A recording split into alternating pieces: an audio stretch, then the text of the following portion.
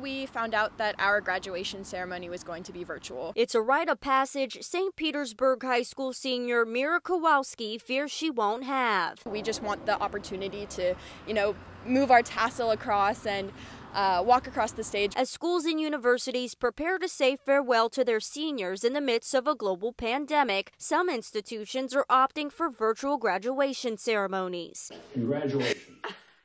Currently, the Pinellas County School District is planning a traditional in person graduation for later this summer. But if that's not possible, a virtual ceremony will be held as an alternative. It was such an abrupt ending to our senior year, and I think that's why virtual graduation was even harder to wrap my head around. It would just really be devastating to have that online, sitting like in your bed on the couch. Kowalski, who plans to attend Vanderbilt University in the fall, has created a petition on change.org, pushing for another solution. I created a petition uh, to reach out to Dr. Grego, the superintendent of Pinellas County Schools um, basically asking to postpone the graduation ceremony. Now, nearly 5,000 signatures later, Kowalski's hoping to appeal to the Pinellas County School Board. I think that a graduation is such a is an event that is so big that it deserves to be held no matter the date. And I know we'll, we'll all be back uh, probably in December. And I personally would be fine with a December graduation, just